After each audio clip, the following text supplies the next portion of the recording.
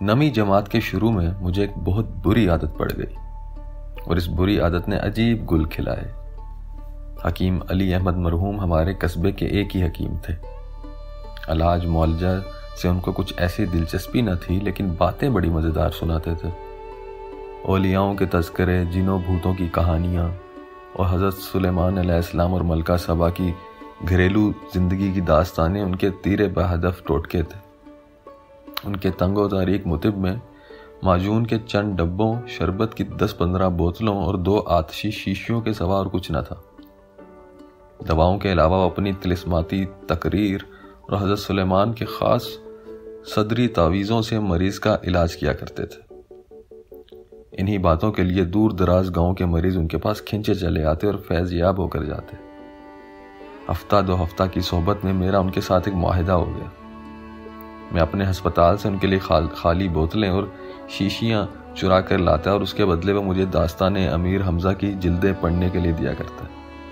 یہ کتابیں کچھ ایسی دلچسپ تھیں کہ میں رات رات بھر اپنے بستر میں دبک کر انہیں پڑھا کرتا اور صبح دیر تک سویا رہتا۔ اماں میرے اس رویے سے سخت نالا تھی۔ ابا جی کو میری صحت برباد ہونے کا خطرہ لاحق تھا، لیکن میں نے ان کو بتا دیا تھا کہ چاہے جان چلی جائے اب کے دسویں میں وظیفہ ضرور حاصل کروں گا۔ رات تلسم ہوش ربا کے ایوانوں میں بسر ہوتی اور دن بینچ پر کھڑے ہو کر۔ سہماہی امتحان میں فیل ہوتے ہوتے بچا۔ ششماہی میں بیمار پڑ گیا اور سالانہ امتحان کے موقع پر حکیم جی کی مدد سے ماسٹروں سے مل ملا کر پاس ہو گیا۔ دسویں میں سندلی نامہ پسانہ آزاد اور الف لیلہ ساتھ ساتھ چلتے تھے۔ پسانہ آزاد اور سندلی نامہ گھر پر رکھے تھے، لیکن الف لیلہ اسکول کے ڈسک میں بند رہتی۔ آخری بینچ پر جغرافیہ کی کتاب تلے سندھ باد جہازی کے ساتھ ساتھ چلتا اور اسی طرح دنیا کی سیر کرتا۔ بائیس مئی کا واقعہ ہے کہ صبح دس بجے یونیورسٹی سے نتیجہ کی کتاب ایم بی ہائی اسکول پہنچی۔ امی چند نہ صرف اسکول بلکہ ضلع بھر میں اول آیا تھا۔ چھ لڑکے فیل تھے اور بائیس پاس۔ حکیم جی کا جادو یونیورسٹی پہ نہ چل سکا اور پنجاب کی جابر دانشگاہ نے میرا نام بھی ان چھ لڑکوں میں شامل کر دیا اسی شام قبلہ گاہی نے بید سے میری پٹائی کی اور گھر سے باہر نکال دیا میں ہسپتال کے رہٹ کی گدی پر آ بیٹھا اور رات گئے تک سوچتا رہا، اب کیا کرنا چاہیے اور کدھر جانا چاہیے۔ خدا کا ملک تنگ نہیں تھا اور میں عمر و ایار کے ہتھ کنڈوں اور سندھ باد جہازی کے تمام طریقوں سے واقف تھا۔ مگر پھر بھی کوئی راہ سجھائی نہ دی۔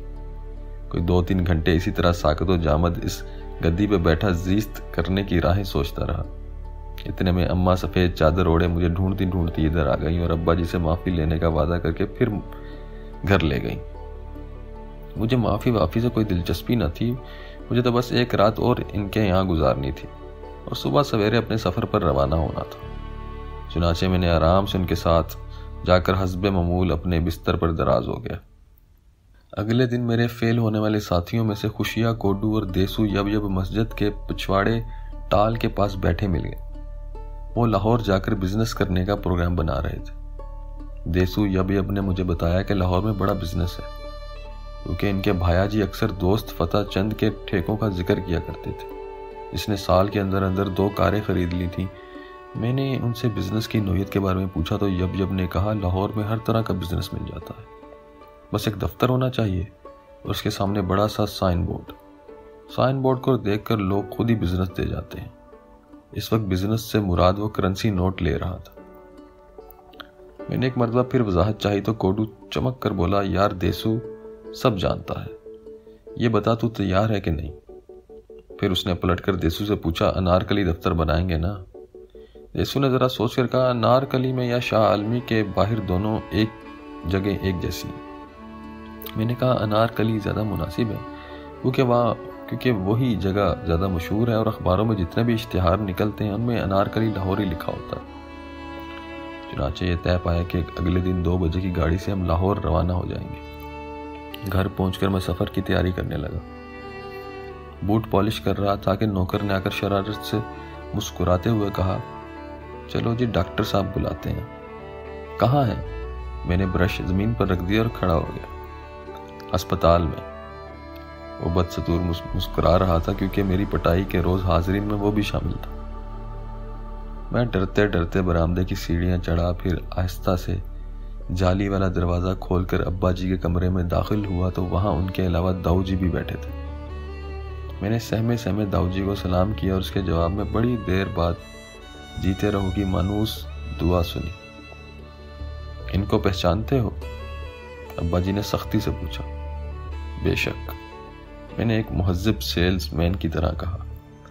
بے شک کے بچے حرام زادے میں تیری یہ سب۔ نانا ڈاکٹر صاحب، داؤ جی نے ہاتھ اوپر اٹھا کر کہا، یہ تو بہت اچھا بچہ ہے، اس کی تو ڈاکٹر صاحب نے بات کاٹ کر تلخی سے کہا، آپ نہیں جانتے منشی جی اس کمینے نے میری عزت خاک میں ملا دی۔ اب فکر نہ کریں۔ داؤ جی نے سر جھکائے کہا، یہ ہمارے آفتاب سے بھی زیادہ ذہین ہے اور ایک دن اب کیا ڈاکٹر صاحب کو غصہ آ گیا؟ انہوں نے میز پر ہاتھ مار کر کہا، کیسی بات کرتے ہو منشی جی یہ آفتاب کے جوتے کی برابری نہیں کر سکتا۔ کرے گا کرے گا ڈاکٹر صاحب۔ داؤ جی نے اس بات میں سر لاتے ہوئے کہا آپ خاطر جمع رکھیں۔ پھر وہ اپنی کرسی سے اٹھے، میرے کندھے پر ہاتھ رکھ کے بولے، میں سیر کو چلتا ہوں، تم بھی میرے ساتھ آؤ رستے میں باتیں کرتے ہیں۔ ابا جی اسی طرح کرسی پر بیٹھے، غصے کے عالم میں اپنا رجسٹر الٹ پلٹ کرتے اور بڑبڑاتے رہے۔ میں نے آستہ آستہ چل کر جالی والا دروازہ کھولا تو داؤ جی نے پیچھے مڑ کر کہا، ڈاکٹر صاحب، بھول نہ جائیے، ابھی بھجوا دیجیے گا۔ داؤ جی نے مجھے ادھر ادھر گھماتے مختلف درختوں کے نام فارسی میں بتاتے نہر کے اسی پل پر لے گئے جہاں پہلے پہل میرا ان سے تعارف ہوا تھا۔ اپنی مخصوص نشست پر بیٹھ کر انہوں نے پگڑی اتار کر گول میں ڈال لی۔ سر پر ہاتھ پھیرا اور مجھے سامنے بیٹھنے کا اشارہ کیا۔ پھر انہوں نے آنکھیں بند کر لی اور کہا، آج سے میں تمہیں پڑھاؤں گا۔ اور اگر جماعت میں اول نہ لا سکا تو فرسٹ ڈویژن ضرور دلوا دوں گا۔ میرے ہر ارادے میں خداوند تعالیٰ کی مدد شامل ہوتی ہے۔ اور اس ہستی نے مجھے اپنی رحمت سے کبھی مایوس نہیں کیا۔ مجھ سے پڑھائی نہ ہوگی۔ میں نے گستاخی سے بات کاٹی۔ تو اور کیا ہوگا گولو؟ انہوں نے مسکرا کر پوچھا۔ میں نے کہا، میں بزنس کروں گا، روپیہ کماؤں گا اور اپنی کار لے کر یہاں ضرور آؤں گا، پھر دیکھنا۔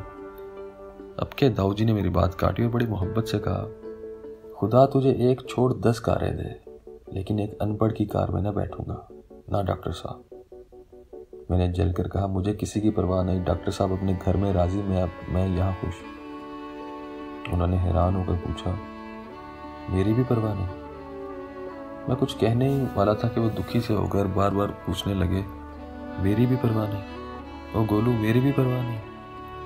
مجھے ان کے لہجے پر ترس آنے لگا اور میں آہستہ آہستہ کہا آپ کی تو ہے مگر۔ مگر انہوں نے میری بات نہ سنی اور کہنے لگا اپنے حضرت کے سامنے میرے منہ سے ایسی بات نکل جاتی۔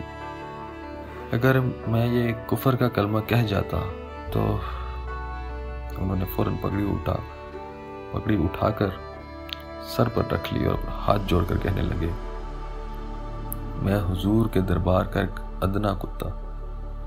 میں حضرت مولانا کی خاک پا سے بدتر بندہ ہو کر آقا سے یہ کہتا۔ لانت کا توک نہ پہنتا۔ خاندان ابو جہل کا خان وادہ اور آقا کی ایک نظر کرم۔ حضرت کا ایک اشارہ۔ حضور نے چنتو کو منشی رام بنا دیا۔ لوگ کہتے ہیں منشی جی۔ میں کہتا ہوں رحمت اللہ علیہ کا کفش بردار۔ لوگ سمجھتے ہیں، داؤ جی کبھی ہاتھ جوڑتے، کبھی سر جھکاتے، کبھی انگلیاں چوم کر آنکھوں کو لگاتے اور بیچ بیچ میں فارسی کے اشعار پڑھتے جاتے۔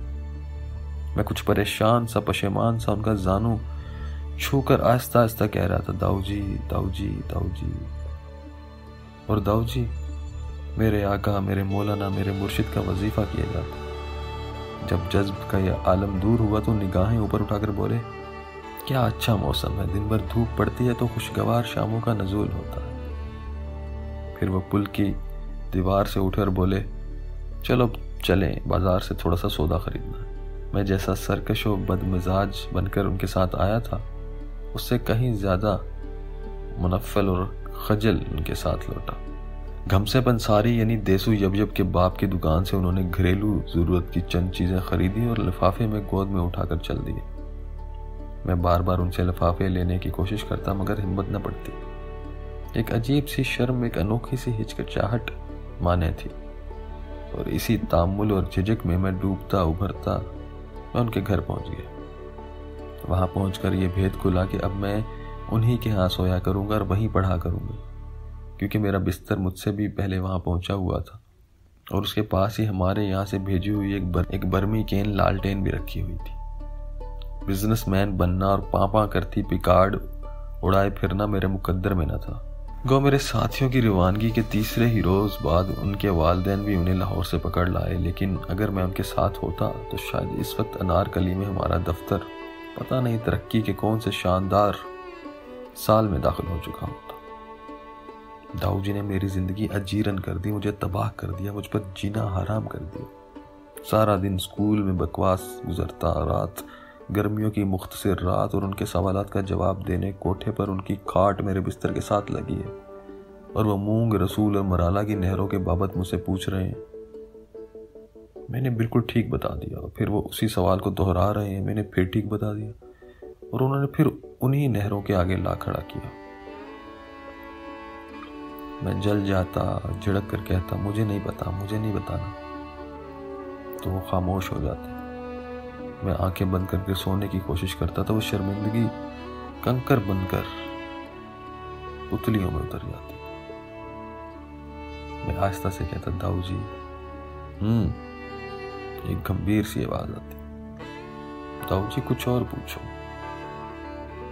داؤ جی نے کہا، بہت بے آبرو ہو کر تیرے کوچے سے ہم نکلے۔ اس کی ترکیبیں نحوی کرو۔ میں نے سعادت مندی کے ساتھ کہا جی یہ تو بہت لمبا فکرہ ہے، صبح لکھ کر بتا دوں گا، کچھ اور پوچھیے۔ انہوں نے آسمان کی طرف انگلی اٹھائے کہا، میرا گولو بہت اچھا ہے۔ میں نے ذرا سوچ کر کہنا شروع کیا، بہت اچھا صفت ہے حرف ربط مل کر بنا مسند۔